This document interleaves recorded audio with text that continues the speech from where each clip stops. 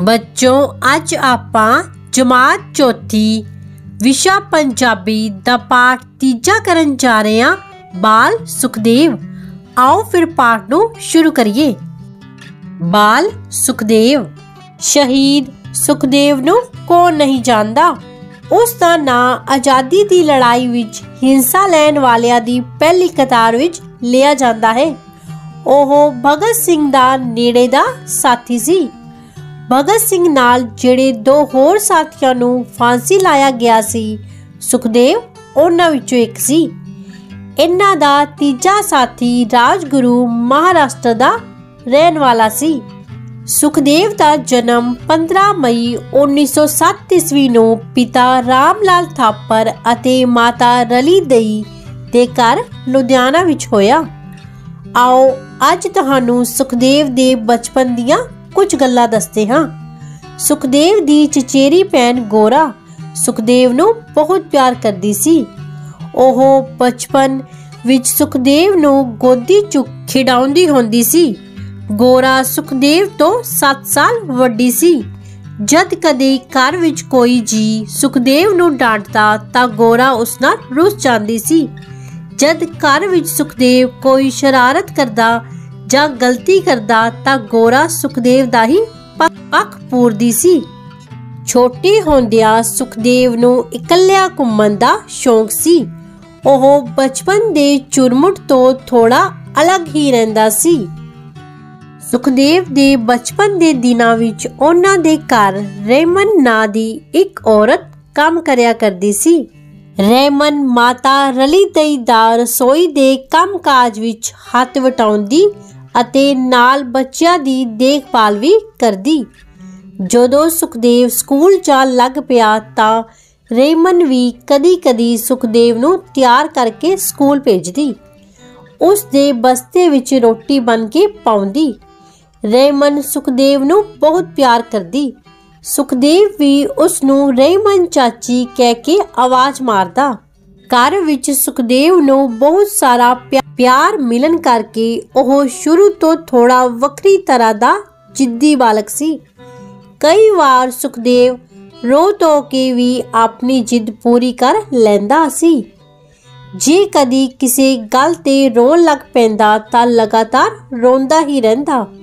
ਬਚਪਨ ਦੇ ਇਨ੍ਹਾਂ ਸਾਲਾਂ ਵਿੱਚ ਤਾਂ ਉਸ ਦਾ ਸੁਭਾਅ ਚਿੜਚਿੜਾ ਵੀ ਬਣ ਗਿਆ ਸੀ। ਛੋਟੇ ਹੁੰਦਿਆਂ ਸੁਖਦੇਵ ਇੱਕ ਵਾਰ ਲਾਇਲਪੁਰ ਵਿੱਚ ਆਪਣੇ ਘਰ ਦੇ ਨੇੜੇ ਬੱਚਿਆਂ ਨਾਲ ਖੇਡ ਰਿਹਾ ਸੀ। ਖੇਡਦਿਆਂ ਹੋਇਆਂ ਇੱਕ ਬੱਚਾ ਨੇੜੇ ਦੇ ਇੱਕ ਖੂਹ ਵਿੱਚ ਡਿੱਗ ਪਿਆ। ਸਾਰੇ ਬੱਚੇ ਖੂਹ ਦੀ ਮਨ ਤੇ ਨੇੜੇ ਖੜ ਕੇ ਉੱਚੀ ਉੱਚੀ ਰੋਲਾ ਪਾਉਣ ਲੱਗੇ। ਪਰ ਸੁਖਦੇਵ ਕਾਲੀ ਨਾਲ ਭੱਜਾ ਭੱਜਾ ਆਪਣੇ ਘਰ ਗਿਆ ਅਤੇ ਨੌਕਰ ਸ਼ਿਵਰਾਮ ਨੂੰ ਰੱਸੇ ਸਮੇਤ ਖੂਹ ਤੇ ਲੈ ਆਇਆ। ਜੇਕਰ ਉਸ ਦਿਨ ਸੁਖਦੇਵ ਹੁਸ਼ਿਆਰੀ ਨਾ ਵਰਤਦਾ, ਤਾਂ ਸ਼ਾਇਦ ਉਸ ਬੱਚੇ ਨੂੰ ਬਚਾਇਆ ਨਾ ਜਾ ਸਕਦਾ। ਸੁਖਦੇਵ ਲਾਇਲਪੁਰ ਦੇ ਸਨਾਤਨ ਧਰਮ ਸਕੂਲ ਵਿੱਚ ਪੜਦਾ ਸੀ। ਜਦੋਂ 13 ਅਪ੍ਰੈਲ 1919 ਨੂੰ ਜਲਿਆਵਾਲਾ ਬਾਗ ਦਾ ਸਾਕਾ ਵਾਪਰਿਆ, ਤਾਂ ਸਾਰੇ ਪੰਜਾਬ ਵਿੱਚ ਸ਼ੋਕ ਦੀ ਲਹਿਰ ਦੌੜ ਗਈ। ਅੰਗਰੇਜ਼ ਸਰਕਾਰ ਨੂੰ ਪਤਾ ਸੀ ਕਿ ਸਾਰੇ ਪੰਜਾਬ ਵਿੱਚ ਥਾਂ-ਥਾਂ ਰੋਸ਼ ਵਿਖਾਵੇ ਹੋਣਗੇ। ਇਸ ਕਰਕੇ ਅੰਗਰੇਜ਼ਾਂ ਨੇ ਜਲਿਆਵਾਲਾ ਬਾਗ ਦੇ ਸਾਕੇ ਤੋਂ ਤੀਜੇ ਦਿਨ ਸਾਰੇ ਪੰਜਾਬ ਵਿੱਚ ਫੌਜ ਅਤੇ ਪੁਲਿਸ ਤਾਇਨਾਤ ਕਰ ਦਿੱਤੀ। ਸਰਕਾਰੀ ਦਫ਼ਤਰਾਂ, ਵਿਦਿਅਕ ਅਦਾਰਿਆਂ ਅਤੇ ਹੋਰ ਸੰਸਥਾਵਾਂ ਵਿੱਚ ਅੰਗਰੇਜ਼ੀ ਸਿਪਾਹੀ ਤਾਇਨਾਤ ਕਰ ਦਿੱਤੇ ਗਏ। ਸਨਾਤਨ ਧਰਮ ਸਕੂਲ ਲਾਇਨਪੁਰ ਦੇ ਮੁੱਖ ਅਧਿਆਪਕ ਨੇ ਸਰਕਾਰ ਵੱਲੋਂ ਆਏ ਹੁਕਮ ਅਨੁਸਾਰ ਵਿਦਿਆਰਥੀਆਂ ਨੂੰ ਹਦਾਇਤ ਦਿੱਤੀ ਗਈ ਕਿ ਹਰ ਰੋਜ਼ ਸਕੂਲ ਵਿੱਚ ਸਵੇਰ ਦੀ ਪ੍ਰਾਰਥਨਾ ਸਭਾ ਤੋਂ ਪਿੱਛੋਂ ਸਾਰੇ ਵਿਦਿਆਰਥੀ ਇੱਕ ਅੰਗਰੇਜ਼ੀ ਅਫਸਰ ਨੂੰ ਸਲਾਮੀ ਦੇਣਗੇ। ਇੱਕ ਦਿਨ ਸਾਰੇ ਬੱਚੇ ਸਵੇਰ ਦੀ ਸਭਾ ਤੋਂ ਬਾਅਦ ਵਾਰੀ-ਵਾਰੀ ਅੰਗਰੇਜ਼ੀ ਅਫਸਰ ਨੂੰ ਸਲਾਮੀ ਦੇ ਰਹੇ ਸਨ। ਜਦੋਂ ਸਲਾਮੀ ਦੇਣ ਦੀ ਸੁਖਦੇਵ ਦੀ ਵਾਰੀ ਆਈ ਤਾਂ ਉਸ ਨੇ ਸਲਾਮੀ ਦੇਣ ਤੋਂ ਇਨਕਾਰ ਕਰ ਦਿੱਤਾ। ਮੁੱਖ ਅਧਿਆਪਕ ਨੇ ਵੀ ਸੁਖਦੇਵ ਨੂੰ ਮਨਾਉਣ ਦੀ ਕੋਸ਼ਿਸ਼ ਕੀਤੀ, ਪਰ ਉਸ ਨੇ ਸਾਫ਼ ਇਨਕਾਰ ਕਰ ਦਿੱਤਾ। ਅੰਗਰੇਜ਼ ਅਫਸਰ ਅਗ ਬਬੂਲਾ ਹੋ ਗਿਆ। ਸਲਾਮੀ ਨਾ ਦੇਣ ਕਰਕੇ ਸੁਖਦੇਵ ਨੂੰ ਸਕੂਲ ਦੇ ਮੁੱਖ ਅਧਿਆਪਕ ਤੋਂ ਮਾਰ ਵੀ ਖਾਣੀ ਪਈ। ਜਦੋਂ ਸੁਖਦੇਵ ਸਲਾਮੀ ਦੇਣ ਲਈ ਨਾ ਮੰਨਿਆ ਤਾਂ ਅੰਗਰੇਜ਼ ਅਫਸਰ ਚਿੱਤਾ ਜਿਹਾ ਹੋ ਕੇ ਮੁੱਖ ਅਧਿਆਪਕ ਅਤੇ ਬਾਕੀ ਅਧਿਆਪਕਾਂ ਨੂੰ ਘੂਰਨ ਲੱਗ ਪਿਆ। ਫਿਰ ਜਿੰਨੇ ਦਿਨ ਸਕੂਲ ਵਿੱਚ ਸਲਾਮੀ ਦੇਣ ਦਾ ਸਿਲਸਿਲਾ ਚੱਲਦਾ ਰਿਹਾ, ਓਨੇ ਦਿਨ ਸੁਖਦੇਵ ਸਕੂਲ ਨਹੀਂ ਗਿਆ। ਭਾਵੇਂ ਇਸ ਘਟਨਾ ਸਮੇਂ ਸੁਖਦੇਵ ਦੀ ਉਮਰ 12 ਸਾਲ ਸੀ, ਪਰ ਉਸ ਦੇ ਮਨ ਵਿੱਚ ਅੰਗਰੇਜ਼ਾਂ ਪ੍ਰਤੀ ਨਫ਼ਰਤ ਪੈਦਾ ਹੋ ਚੁੱਕੀ ਸੀ। ਇਸ ਤਰ੍ਹਾਂ ਦੀਆਂ ਸਲਾਮੀਆਂ ਲੈਣ ਤੋਂ ਅੰਗਰੇਜ਼ਾਂ ਦਾ ਇਹ ਭਾਵ ਸੀ ਕਿ ਹਿੰਦੁਸਤਾਨੀਆਂ ਨੂੰ ਦਬਾ ਕੇ ਰੱਖਿਆ ਜਾਵੇ ਅਤੇ ਗੁਲਾਮੀ ਦਾ ਅਹਿਸਾਸ ਕਰਾਇਆ ਜਾਵੇ। ਬਾਲ ਸੁਖਦੇਵ ਦੀ ਅੰਗਰੇਜ਼ ਹਕੂਮਤ ਨਾਲ ਇਹ ਪਹਿਲੀ ਟੱਕਰ ਸੀ। ਭਾਵੇਂ ਦੇਖਣ ਨੂੰ ਇੱਕ ਨਿੱਕੀ ਜੀ ਘਟਨਾ ਲੱਗਦੀ ਸੀ, ਪਰ ਅਸਲ ਵਿੱਚ ਇਹ ਨਿੱਕੀ ਜੀ ਘਟਨਾ ਨਹੀਂ ਸੀ। ਸਗੋਂ ਵੱਡੀ ਜੂਰਤ ਵਾਲੀ ਘਟਨਾ ਸੀ। ਇਸ ਘਟਨਾ ਨੇ ਸੁਖਦੇਵ ਨੂੰ ਆਪਣੇ ਇਰਾਦੇ ਵਿੱਚ ਹੋਰ ਪੱਕਾ ਕਰ ਦਿੱਤਾ ਸੀ। ਸੁਖਦੇਵ ਦੇ ਤਾਇਆ ਜੀ ਲਾਲਾ ਚਿੰਤਰਾਮ ਅਤੇ ਭਗਤ ਸਿੰਘ ਦੇ ਪਿਤਾ ਸਰਦਾਰ ਕਿਸ਼ਨ ਸਿੰਘ ਦਾ ਇੱਕ ਦੂਜੇ ਦੇ ਘਰ ਆਉਣ ਜਾਣ ਸੀ। ਸੁਖਦੇਵ ਦਾ ਪਰਿਵਾਰ ਲਾਇਪੁਰ ਵਿੱਚ ਰਹਿਣ ਵਾਲਾ ਸੀ ਅਤੇ ਭਗਤ ਸਿੰਘ ਜੀ ਦਾ ਪਰਿਵਾਰ ਲਾਇਪੁਰ ਜ਼ਿਲ੍ਹੇ ਦੇ ਪਿੰਡ ਪੱਗਾ ਚੱਕ ਨੰਬਰ 105 ਜੀਬੀ ਵਿੱਚ ਰਹਿਣ ਵਾਲਾ ਸੀ। ਇੱਕ ਦੋ ਵਾਰ ਜਦੋਂ ਕਿਸ਼ਨ ਸਿੰਘ ਲਾਲਾ ਚਿੰਤਰਾਮ ਦੇ ਘਰ ਲਾਇਪੁਰ ਵਿਖੇ ਆਏ ਤਾਂ ਉਹਨਾਂ ਦਾ ਪੁੱਤਰ ਬਾਲ ਭਗਤ ਸਿੰਘ ਵੀ ਉਹਨਾਂ ਦੇ ਨਾਲ ਹੁੰਦਾ ਸੀ। ਕਿਸ਼ਨ ਸਿੰਘ ਤੇ ਚਿੰਤਰਾਮ ਆਪਣੀਆਂ ਗੱਲਾਂ ਵਿੱਚ ਰੁੱਝ ਜਾਂਦੇ। ਸੁਖਦੇਵ ਅਤੇ ਭਗਤ ਸਿੰਘ ਹਾਨੀ ਹੋਣ ਕਰਕੇ ਆਪਸ ਵਿੱਚ ਖੇਡਣ ਲੱਗ ਜਾਂਦੇ। ਉਹ ਮਿੱਟੀ ਦੇ ਘਰ ਬਣਾਉਣ ਦੀ ਖੇਡ ਖੇਡਦੇ। ਉਹ ਮਿੱਟੀ ਦੇ ਘਰ ਬਣਾਉਂਦੇ ਅਤੇ ਖੇਡਣ ਪਿੱਛੋਂ ਆਪ ਹੀ ਢਾ ਦਿੰਦੇ।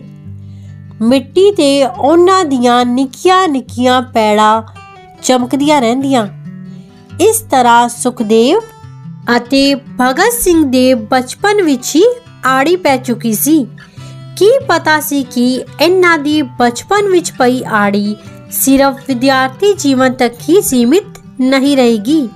ਸਗੋਂ ਫਾਂਸੀ ਤੱਕ ਨਿਭੇਗੀ। ਬੱਚੋ, ਇਹ ਸੀ ਸਾਡਾ ਪਾਠ। ਬਾਲ ਸੁਖਦੇਵ, ਆਓ ਹੁਣ ਇਸ ਪਾਠ ਦਾ ਅਭਿਆਸ ਕਰਦੇ ਹਾਂ। ਯਾਦ ਰੱਖਣਯੋਗ ਗੱਲਾਂ।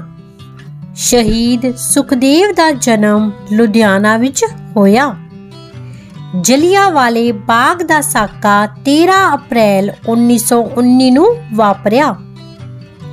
23 ਮਾਰਚ 1931 ਨੂੰ ਸੁਖਦੇਵ ਨੂੰ ਭਗਤ ਸਿੰਘ ਅਤੇ ਰਾਜਗੁਰੂ ਦੇ ਨਾਲ ਫਾਂਸੀ ਦਿੱਤੀ ਗਈ। ਠੀਕ ਸ਼ਬਦ ਚੁਣ ਕੇ ਖਾਲੀ ਥਾਵਾਂ ਭਰੋ। ਊੜਾ, ਸੁਖਦੇਵ ਦੇ ਮਾਤਾ ਜੀ ਦਾ ਨਾਂ ਡੈਸੀ। ਬੱਚੋਂ ਹੇਠਾਂ ਆਪਾਂ ਨੂੰ ਆਪਸ਼ਨਾਂ ਦਿੱਤੀਆਂ ਗਈਆਂ ਹਨ। ਇਨ੍ਹਾਂ ਆਪਸ਼ਨਾਂ ਵਿੱਚੋਂ ਆਪਾਂ ਨੇ ਸਹੀ ਆਪਸ਼ਨ ਦੀ ਚੋਣ ਕਰਕੇ ਖਾਲੀ ਥਾਂ ਨੂੰ ਭਰਨਾ ਹੈ। ਆਓ ਫਿਰ ਸ਼ੁਰੂ ਕਰੀਏ। ਇਸ ਵਿੱਚ ਸ਼ਬਦ ਆਏਗਾ ਰਲੀ ਦੇਈ। ਐੜਾ ਸੁਖਦੇਵ ਲਾਇਲਪੁਰ ਦੇ ਡੈਸ ਸਕੂਲ ਵਿੱਚ ਪੜਦਾ ਸੀ। ਸਨਾਤਨ ਧਰਮ। ਸੁਖਦੇਵ ਲਾਇਲਪੁਰ ਦੇ ਸਨਾਤਨ ਧਰਮ ਸਕੂਲ ਵਿੱਚ ਪੜਦਾ ਸੀ। ਈੜੀ ਅੰਗਰੇਜ਼ ਅਫਸਰ ਡੈਸ਼ ਹੋ ਗਿਆ। ਅੱਗ, ਬਗੋਲਾ। ਸੱਸਾ, ਅੰਗਰੇਜ਼ ਹਕੂਮਤ ਨਾਲ ਸੁਖਦੇਵ ਦੀ ਇਹ ਡੈਸ਼ ਟੱਕਰ ਸੀ। ਇਸ ਵਿੱਚ ਸ਼ਬਦ ਆਏਗਾ ਪਹਿਲੀ। ਹਾ ਹਾ ਸੁਖਦੇਵ ਦਾ ਪਰਿਵਾਰ ਡੈਸ਼ ਵਿਖੇ ਰਹਿੰਦਾ ਸੀ, ਲਾਇਲਪੁਰ। ਹੇਠ ਲਿਖੇ ਪ੍ਰਸ਼ਨਾਂ ਦੇ ਉੱਤਰ ਲਿਖੋ। ਊੜਾ, ਸੁਖਦੇਵ ਦਾ ਜਨਮ ਕਦੋਂ ਹੋਇਆ? ਦੱਸੋ ਬੱਚੋ। ਇਸ ਦਾ ਉੱਤਰ ਹੈ, ਸ਼ਹੀਦ ਸੁਖਦੇਵ ਦਾ ਜਨਮ 15 ਮਈ 1907 ਨੂੰ ਹੋਇਆ। ਪ੍ਰਸ਼ਨ ਐੜਾ, ਸੁਖਦੇਵ ਦੀ ਚਚੇਰੀ ਭੈਣ ਦਾ ਕੀ ਨਾਂ ਸੀ ਅਤੇ ਉਹ ਸੁਖਦੇਵ ਨਾਲ ਕਿਸ ਤਰ੍ਹਾਂ ਦਾ ਵਰਤਾਅ ਕਰਦੀ ਸੀ?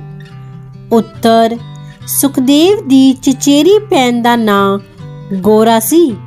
ਉਹ ਸੁਖਦੇਵ ਨਾਲ ਬਹੁਤ ਪਿਆਰ ਕਰਦੀ ਸੀ ਅਤੇ ਹਮੇਸ਼ਾ ਸੁਖਦੇਵ ਦਾ ਪੱਕ ਪੂਰਦੀ ਸੀ। ਪ੍ਰਸ਼ਨ ਈੜੀ, ਜਦੋਂ ਬੱਚਾ ਖੂਹ ਵਿੱਚ ਡਿੱਗ ਪਿਆ ਤਾਂ ਸੁਖਦੇਵ ਨੇ ਉਸ ਨੂੰ ਬਚਾਉਣ ਲਈ ਕੀ ਕੀਤਾ?